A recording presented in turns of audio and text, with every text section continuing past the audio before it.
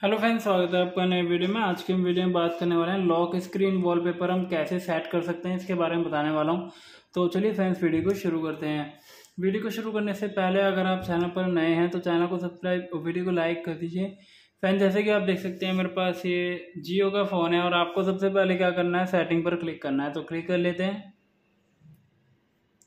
Setting पर click करते ही आपको इस तरीके का आइकन शो करेगा। आपको यहाँ पर क्या करना होगा फ्रेंड जैसे कि आप देख सकते हैं, थोड़ा सा ऊपर की साइड स्क्रॉल करेंगे और डिस्प्ले वाले ऑप्शन पर जाएँगे।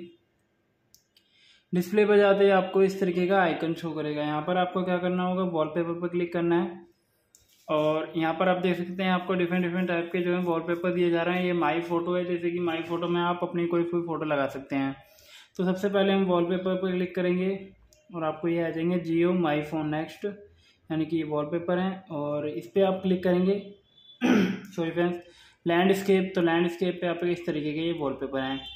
तो मैं लॉक स्क्रीन वॉलपेपर पे लगा लेता हूँ, जैसे कि ये, और मैं यहाँ से राइट पे क्लिक करूँगा और यहाँ पर आपको दिखा रहा है home screen lock screen and both यानी कि हम लॉक स्क्रीन पर क्लिक कर देंगे क्योंकि हमें लॉक स्क्रीन पर सेट करना है।